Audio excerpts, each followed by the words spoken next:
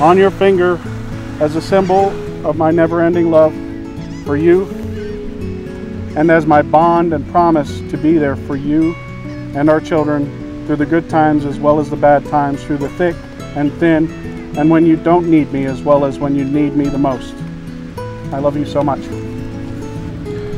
With this ring, and I say these vows not just as a promise, but as a privilege.